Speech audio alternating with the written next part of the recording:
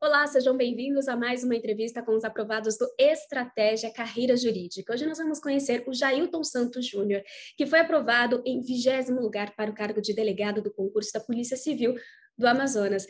Jailton, eu quero te dar os parabéns e seja bem-vindo aqui à nossa entrevista. Ok, obrigado, Lívia. Jailton, então, para a gente entender um pouquinho, por favor, se apresente para nós. É, Lívia, eu sou bacharel em Direito, né? Não foi minha primeira graduação. A primeira graduação foi licenciatura em História. Depois eu fiz o curso de Direito. Terminei concluindo essas duas graduações. E eu presto concurso já há muitos anos, na verdade. Eu presto concurso, eu sou concursado atualmente. Trabalho no Tribunal de Justiça de Sergipe como técnico judiciário. É um cargo de nível médio. É, e embora tenha essas duas graduações, esse será meu primeiro cargo de nível superior. Antes de ser técnico judiciário, eu, eu sou técnico judiciário há quatro anos exatamente, e antes disso eu trabalhei por oito anos como bancário na Caixa Econômica Federal. Foi um cargo que eu exerci durante oito anos, foi meu primeiro cargo público concursado, e assim que eu comecei a faculdade de Direito, eu já estava trabalhando como bancário na Caixa Econômica, né? No início eu achei que eu ia passar muito pouco tempo lá, porque eu já estudava para concurso, fazia técnico judiciário, técnico Ministério Público. Só que quando você começa a trabalhar, o estudo fica mais difícil, né? A, você ter tempo e conseguir se dedicar com a mesma intensidade. E aí eu não consegui, demorei um bastante tempo, né? Mas vim, vinha conseguir agora, aprovação no cargo de nível superior. Mas enquanto isso, eu, estudava na, na Caixa Econômica e consegui ser aprovado no concurso de técnico, de técnico judiciário do Tribunal de Justiça de Sergipe, que é o meu estado, onde eu moro e trabalho. Nesse, nesse tempo todo, né, oito anos de bancário na Caixa Econômica e mais quatro anos no Tribunal de Justiça de Sergipe, todo esse tempo eu sempre nunca deixei de fazer concurso público, né? Agora, voltando ao cargo de delegado especificamente, né, para esse cargo eu presto concurso já a, contando com um ano da pandemia, que tava, não teve quase nenhum concurso aí, o primeiro ano da pandemia. Contando com esse ano, já tem aí seis anos que eu faço concurso para delegado. Jailton, então você já tem um longo histórico de longa data com os concursos públicos, essa familiaridade com o serviço público, também com o treino, né, de estudar para concursos, mas eu queria entender em que momento da sua vida que virou essa chave para você ir para o cargo de delegado, que você começou a se interessar mais e viu que você teria até que mudar o rumo ali dos seus estudos, né? Carreira jurídica, geralmente, é mais difícil, exige também ali o nível superior em direito, então, que momento foi esse da sua vida que você mudou a chave? Então, eu mudei a chave é, há uns, é, uns cinco, seis anos atrás, né, quando eu prestava concurso para TRT. Né? Então, eu prestava concurso para o Tribunal Regional do Trabalho, em vários, vários estados do Brasil eu prestei concurso, porque eu estava iniciando a faculdade de Direito, mas eu já tinha a faculdade de licenciatura em História, né? Então, eu poderia fazer cargo de nível superior né, na área de analista administrativo. Então, eu prestei cerca de seis concursos para o TRT durante um período de aproximadamente dois anos, e eu cheguei a ser bem classificado no TRT da Bahia, da quinta região. E lá eu tive uma decepção, porque, embora eu tivesse bem classificado no cadastro de reserva, porque era apenas uma vaga, é, todas as, as, as, vagas que surgiam para o cargo, o cargo que eu estava classificado, né, na lista administrativo, as, as vagas eram convertidas pela presidência do tribunal para outros cargos então, terminava que as pessoas que estavam aprovadas no cargo que eu estava aprovado perdiam as vagas e foram feito isso dezenas de vezes. Então, é, embora eu tivesse aprovado em trigésimo lugar lá no TRT da Bahia, durou os quatro anos do concurso e eu não fui nomeado. Então, isso me deixou bastante chateado com os concursos para TRT. E nesse contexto também, houve uma suspensão de concursos para o TRT, por ordem do TST em Brasília, e passou um período aí de cerca de dois anos sem fazer concursos no TRT do Brasil todo. Então, eu já estava um pouco decepcionado, porque tinha tido um bom resultado, tinha feito mais de 90% da prova, estava em trigésima na Bahia, demorou os quatro anos, eu não tinha sido nomeado, que aí já no, durante o curso de Direito, eu decidi que eu iria parar de fazer concurso para outros cargos ia fazer para delegado de polícia, porque nesse concurso eu poderia, é, assim que terminasse a faculdade, tomar posse sem que fosse necessário nenhum período de, de tempo de prática jurídica. Muito bom, Jailton. E o que, que, mudou nos seus estudos, na sua preparação, em um concurso de carreira jurídica? Tem alguma dica que você possa dar para quem está nessa transição, que esteja passando ali de técnico e analista e quer ingressar para uma carreira jurídica? Eu digo mais uma dica, assim, questões de estudos. O que, que a pessoa deve se atentar? O que, que ela vai encontrar? O que, que ela vai enfrentar? Bom, eu, eu diria para você ter uma base muito forte é, na leitura da, da lei seca, né? Ter, ter uma intimidade com a lei. Isso é uma coisa que eu custei muito, muitos anos para cair essa ficha, né? Talvez se eu tivesse caído essa ficha antes, eu teria aprovado mais, mais cedo. Então, eu sempre achava meio chato a leitura da lei seca e ficava focando em videoaula, em apostila. Há alguns anos já, alguns poucos anos para cá, que eu percebi que realmente você tem que estar tá dominando a, o texto da lei seca. Então, eu sugeriria para todo... Hoje em dia, no início que eu comecei os estudos para concurso, tinha poucas ferramentas. Hoje em dia aí, eh, existem várias, várias ferramentas disponíveis para você estudar a lei seca. Né? Está muito mais fácil, muito mais é, tranquilo, não deixa de ser um pouco chato ainda, mas faz parte, e é uma coisa que vai ser o nosso instrumento de trabalho, né? Então, eu sugiro a todo mundo é, se aprofundar e, e, e, no estudo da lei seca, sem deixar de lado também a teoria, a doutrina e, o, e, a, e a, jurisprudência, né? Que está sempre se atualizando, está sempre chegando coisa nova aí, a gente tem que estar tá na ponta da língua, seja para marcar a questão certa, seja para dar a resposta que é esperado pelo examinador nas questões discursivas, né? Ou seja, né, Jailton, não tem para onde correr, você tem que encarar a lei seca. Todo mundo fala que é chato mesmo, tenta fugir, não tem jeito, tem que encarar, tem que estudar.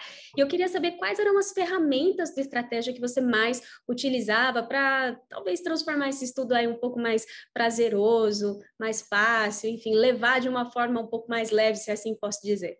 Bom, é, do estratégia eu, eu gosto bastante é, dos, dos, resumos, né, que vem, vem, vem junto aos PDFs, né? Então é uma coisa que me ajuda muito, porque eu não tenho a prática de fazer resumos, eu tenho, eu tenho um pouco de preguiça de fazer resumos, então assim, eu sei que todo mundo fala que é recomendado você fazer seus próprios resumos, mas eu não consigo. Eu, eu, vejo o caminhão de coisas que tem para a gente estudar, revisar e ler, e eu nunca consegui dedicar um tempo só para construir os meus resumos, embora seja mais recomendável. Vejo muita gente boa recomendando.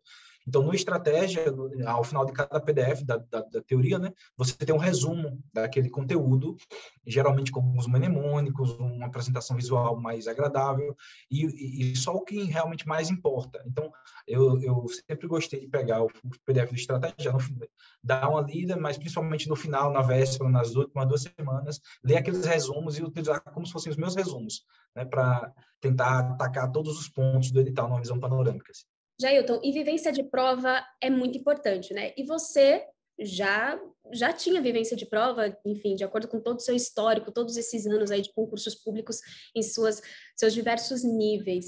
Qual dica você dá para a pessoa que não tem muita vivência de prova, está começando ali a prestar os seus primeiros concursos públicos? Como que essa pessoa pode, de fato, simular uma prova ou hum, controlar o nervosismo, tudo aquilo que aflige muito candidato antes do dia da prova? O nervosismo é uma coisa que acontece e é difícil a gente aplacar 100%, né? Mas eu recomendo sempre você, embora algum, algumas pessoas, alguns professores recomendam você não estudar na véspera, eu nunca consegui seguir essa recomendação. Eu sempre acredito que eu fico menos ansioso estudando até no dia anterior à prova, mesmo a prova sendo pela manhã cedo. O que eu não recomendo, e é uma coisa que eu digo isso com experiência própria, porque eu fiz e me fez mal, causou hum, reprovações minhas em alguns concursos recentes, é você estudar até tarde. Na véspera da prova, à noite, dorme cedo. Oito horas da noite já esteja na cama, já preparado com seu pijama, já e, e buscando dormir. Porque se você ficar até tarde, isso vai lhe causar um prejuízo no seu desempenho. Você vai ter, você vai ficar sonolento, você vai ficar com o raciocínio mais fraco, mais lento. E foi o que aconteceu comigo, por exemplo, na prova de delegado do, do Minas Gerais, delegado Mato Grosso do Sul. É, eu tinha a mania de ficar tentando ler coisas, tentando revisar coisas até o último minuto, na fila para entrar na prova. Isso não é saudável. Tá? Então, tem que, a noite de sono é fundamental. Então, por exemplo, na prova de, de Minas Gerais, eu fui dormir duas horas da manhã sendo que teria que acordar cedo e fazer a prova no outro dia. Então, errei e aprendi com esses erros e espero nunca mais cometê-los, se bem que eu espero passar um bom tempo sem fazer concurso, né? Já tá bom. Tem muitos anos da minha vida nisso. Mas é isso, é você é, confiar na sua preparação, é, ver, ver, dicas com as pessoas que já foram aprovadas, que, estão que passaram lá em cima. O pessoal tem sempre muito boas dicas valiosas É, acredito também que se eu tivesse prestado atenção nisso, nas dicas de, de, quem já passou, eu teria pegado lições valiosas, né? Então, e, e, tentar se acalmar, fazer confiar na sua preparação, não fazer absurdo, né? Não comer nada absurdo na véspera, não ficar dormindo até tarde é, na véspera e, e, e, com a prática, né? Uma coisa igual andar de bicicleta, você não tem teoria, você aprende, mas vai repetição, então vai fazendo provas, às vezes não tem aquele melhor cargo que você quer, que você mais quer, mas faz outro e, uma hora chega, vai, vai, vai dar certo para todo mundo. Isso, né? Ter persistência, paciência, constância. Jailton, você já falou aí como você se prepara para a reta final de uma prova. Eu gostaria de saber como que era, então, o seu dia a dia de estudos, até porque você dividia ele com o seu trabalho. Então, muitas pessoas têm essa dificuldade de conseguir encaixar os horários do dia. Quantas horas líquidas, líquidas você fazia? Quantas matérias por dia você conseguia estudar? Como que era a sua rotina de estudos? Olha, minha rotina de estudos, como eu estudo para delegado há cerca de seis anos, né? É, ela se divide em dois momentos. Um momento onde eu não trabalhava na função que eu exerço, que além de ser técnico judiciário, eu exerço a função de chefe de cartório, né? Eu sou, eu sou escrivão aqui da comarca onde eu atuo. Então, só que eu exerço esse cargo há três anos, né? Então, a minha rotina de, de estudo se divide em antes desse, de eu exercer essa função de confiança e após, né? Porque antes, antes de essa função de confiança, eu trabalhei no finalzinho do período no banco, depois eu iniciei na técnica judiciária, não existia a função de confiança ainda, então eu estudava de manhã, de tarde, de madrugada, entende? Assim, eu não tenho, eu não tinha muito rotina, mas mais uma vez assim, eu, digo, eu sou um caso excepcional. Talvez isso, inclusive, seja uma das, das, das, causas de eu ter demorado tanto tempo, né? Eu estudo só para o cargo delegado há seis anos. Então, tem gente aí que passou com um ano, com alguns meses, com dois anos. Então, no meu caso, eu exerci um estudo muito fora de rotina, embora eu estudasse quase todos os dias, né? Então, tinha dia que eu estudava de manhã de noite, outro dia de noite de madrugada. Então, é, antes de eu exercer essa função de confiança que eu exerço hoje, aqui no meu trabalho atual, que eu ainda não, não tomei posse, né, para delegado, a gente acabou de ser convocado é, para o curso de formação que vai se iniciar ao final do mês. Mas no cargo que eu exerço ainda, antes de exercer esse cargo, eu tinha mais tempo, né? Então, como eu passei a exercer o cargo de escrivão há cerca de três anos, o meu tempo passou a ficar bem mais curto, né? Então, basicamente, eu estudo só à noite, é, duas horas por dia, e finais de semana, sábado, domingo, é um tempo curto, mas é, é, eu só posso conseguir usar de apenas esse tempo, porque eu já tenho uma bagagem que eu venho construindo ao longo de muitos anos, né? Então, nos últimos três anos, embora meu tempo líquido de estudo foi bem menor, eu pude ter um, um ter uma base bem já construída, né? Que eu devia, que eu busquei apenas lapidar, né? Com revisões, com exercícios com a feitura de questões. Eu já há um bom tempo, por exemplo, que eu não assisto mais videoaulas. Eu foco em apostilas, em resumos, em, em, em simulados, em revisão por cards, em questões, né? Então, cada pessoa vai ter uma trajetória. Eu acredito que para todo mundo que nunca estudou para concurso ou que vai estudar, sempre fez nível médio, vai estudar pela primeira vez para carreiras jurídicas, né? O primeiro passo é videoaula. Né? Dos meus dois primeiros anos de, de, de estudos para concurso, dois, três primeiros anos, eu sempre assisti videoaula. E a meta era conseguir assistir todas as videoaulas antes da prova, né? Poucos concursos eu consegui, mas à medida que o tempo foi passando, que a gente vai construindo a bagagem, né? Hoje em dia, praticamente, eu busco só revisar a jurisprudência, me atualizar com as jurisprudências mais recentes, voltar a ler recorrentemente o texto da lei seca, né? E, e fazer simulados. Simulados são fundamentais também. Exatamente, como a gente falou aqui dessa importância, né, de fazer os simulados, de treinar, simular ali o dia da prova. Jailton, e quais eram as matérias mais desafiadoras para você, que você tinha mais dificuldade? Como você conseguiu superar essas dificuldades? Eu tenho muita dificuldade nas matérias de medicina legal, é, direito civil, direito financeiro, né? direito tributário e ambiental. Essas matérias que não são as principais matérias para delegado, né? geralmente é constitucional, administrativo, penal, processual penal, são as principais matérias. Essas que eu citei primeiro não são. E, e eu comecei a perceber que eu estava tava sempre deixando de, de ser aprovado nas primeiras etapas, na prova objetiva, por três, quatro pontos, e sempre esses pontos vinham dessas matérias, né? Meu desempenho era muito ruim nessas matérias, medicina legal, tributário, civil. É, e aí eu passei a um tempo, alguns anos atrás, eu passei a sair o edital do concurso para delegado, antes de eu revisar qualquer matéria das matérias principais, eu tentava esgotar essas matérias primeiro, porque eu sentia que eu precisava fazer uma base dessas matérias, que era meu desempenho fraco. Então, por mais que delegado o principal fosse penal e processual penal, naquele determinado concurso eu estudava primeiro tributário, ambiental e civil, para que isso me desse uma segurança quando eu fosse fazer a prova, se estivesse na iminência da prova, mais próximo, né, eu pudesse voltar ao estudo de penal e processual penal, sabendo que eu tinha construído uma base naquelas matérias mais difíceis, porque a gente não tem intimidade, né? E e foi isso que eu fiz, né? Eu estudei, procurei bons materiais. Na minha base em direito tributário foi feita todinha com os PDFs do Estratégia. Isso isso me ajudou bastante, né? Aqueles resumos, as questões comentadas do PDF. E, assim, você tem que entender que não, não importa que é uma matéria que você não gosta, que você não tem intimidade, você vai ter que dar um jeito e vai ter que estudar ela, porque é aquela matéria que vai lhe tirar, que não está permitindo que você seja aprovada todos os pontos você tem que batalhar por cada um deles, principalmente nessas matérias que, embora sejam mais não sejam as principais, mas são matérias de direito também. Empresarial, civil, processo civil, ambiental, são matérias que a maioria de nós vê na faculdade, né?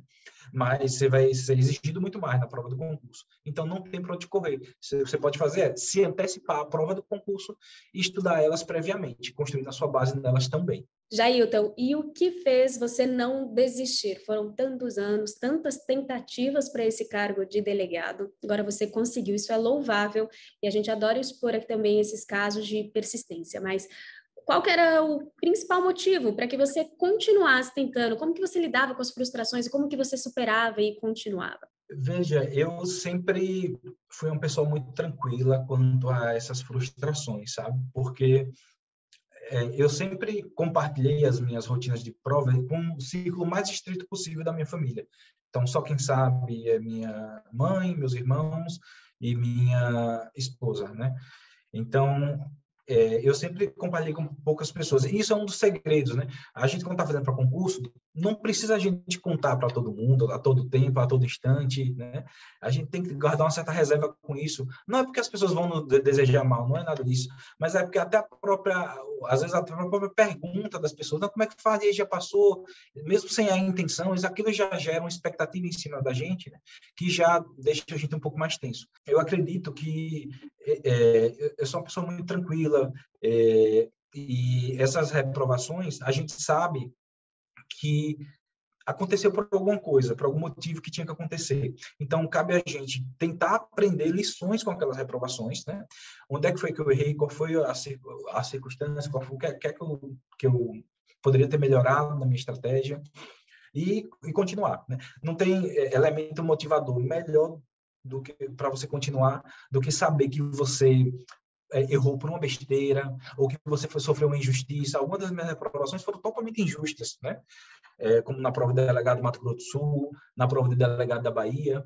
É, então, é, você vê assim, você pensa, bom, se fizeram essa injustiça comigo, é porque, às vezes, Deus, para quem não acredita, às vezes o destino, está é, tá reservando uma coisa melhor para a gente mais à frente um pouquinho. É, eu achei interessante que de todas essas reprovações, ou eu tomei uma lição, ou eu, eu constatei para mim, ó, eu fui vítima de uma injustiça. E essa injustiça mais à frente vai ser reparada, entende? E aí a gente tenta construir a nossa, a nossa existência. Não tem melhor argumento para nos motivar do que a certeza de que a gente vai um dado momento, chegar naquele cargo público, ter uma remuneração digna, ter uma estabilidade financeira, saber que você vai ter uma condição de vida razoável para que você possa construir seus projetos, ter o seu momento de lazer, construir uma família com toda segurança e principalmente também é prestar um serviço público de excelência, né? Sabendo que o seu potencial, você está num espaço onde o seu potencial está sendo aproveitado ao máximo, você está podendo se realizar e é isso é isso que a gente se motiva, né? É, é o contra-cheque, é o espaço, é saber que a, que a nossa capacidade vai estar sendo uh, aflorada em toda a sua potencialidade, né? Que eu acredito no Brasil, um país como o Brasil, com tanta desigualdade, com tanta eh, com tanta precariedade, o serviço público ainda é um espaço muito atrativo. Já eu tô lindas palavras para quem precisa ouvir isso, essa motivação. E agora você Está preparado? Assim, tudo faz mais sentido? Está preparado para essa mudança de Sergipe para o Amazonas? O que, que você está sentindo nesse momento? Olha, estou muito ansioso, estou muito feliz, né? E estou bastante empolgado.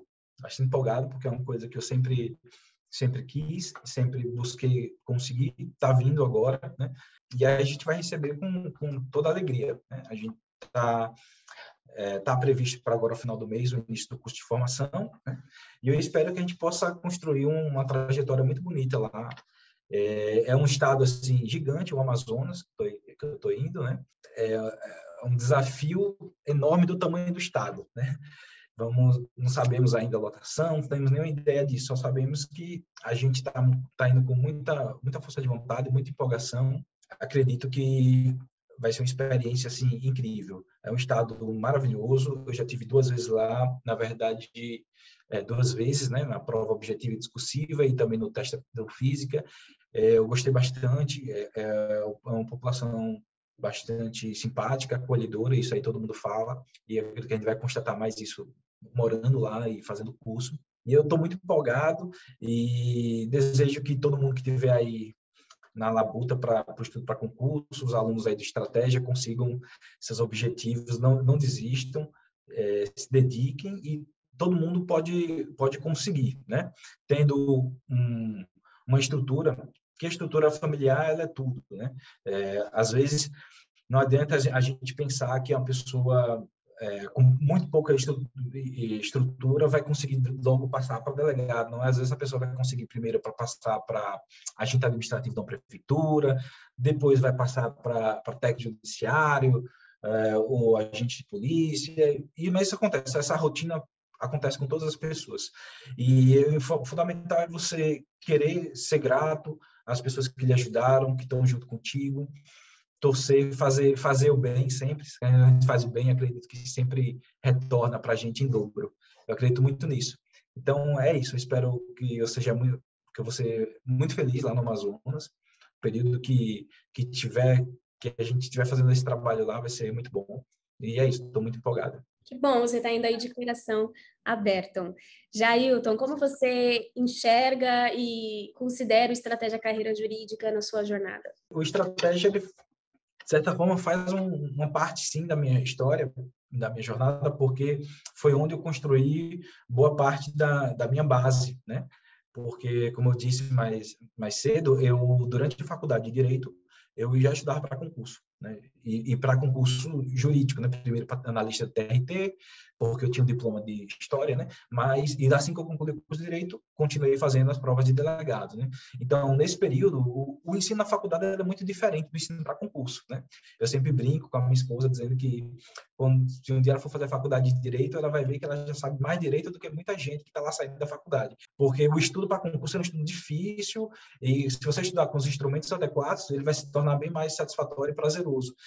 E às vezes você pode até pegar gosto pelo direito só estudando para concurso, você nunca ter pisado na faculdade, né?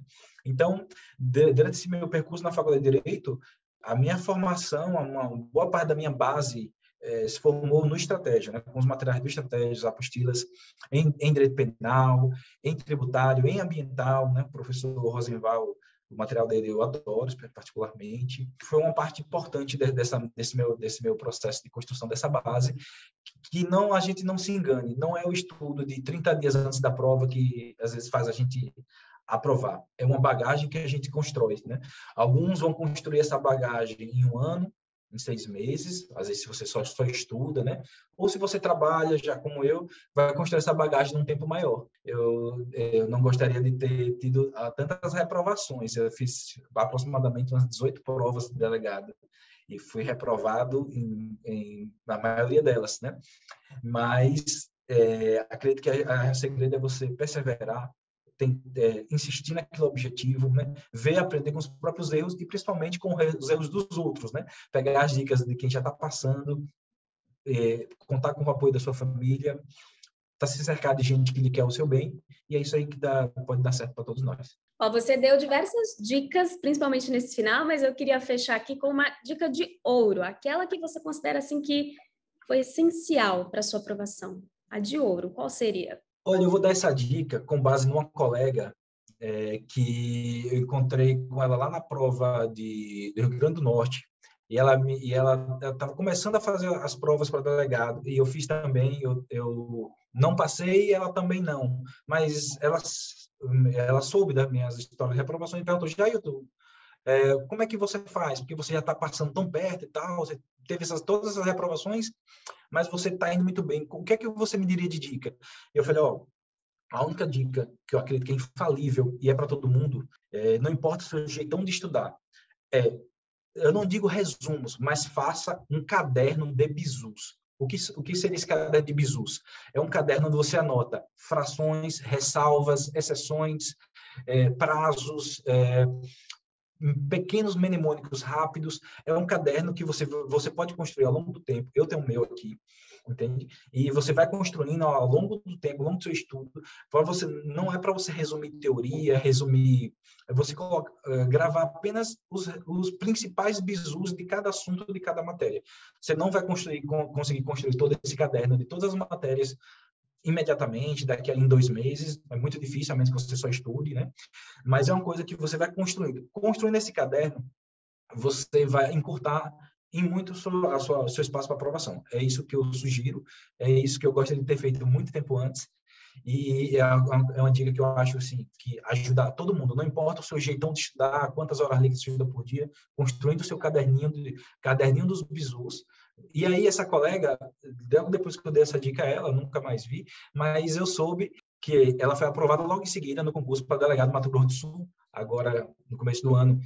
E aí eu fui dar os parabéns a ela, já, ela me disse, Jailton, apliquei a sua dica, apliquei a sua dica e deu super certo. E, é claro que não foi só isso, ela me contou que estava estudando muito, e é ela repassou essa dica para outros colegas, e que esse outro colega também aplicou a dica, e, e também foi aprovado. Então, assim, não sei se foi só uma coincidência, eles, claro, eles estavam estudando muito também, e, mas acredito que deu uma colaboraçãozinha é, esse caderno de bisus. Eu dou para todo mundo essa dica. Que bom, porque agora a sua dica também está compartilhada com todas as pessoas que vão assistir. Jair, então eu quero te agradecer, te parabenizar mais uma vez pela sua história de persistência, de constância, e nós ficamos muito felizes também de fazer parte né, da sua conquista. Alcançou aí o vigésimo lugar para o cargo de delegado da Polícia Civil do Amazonas. Muito obrigada, viu?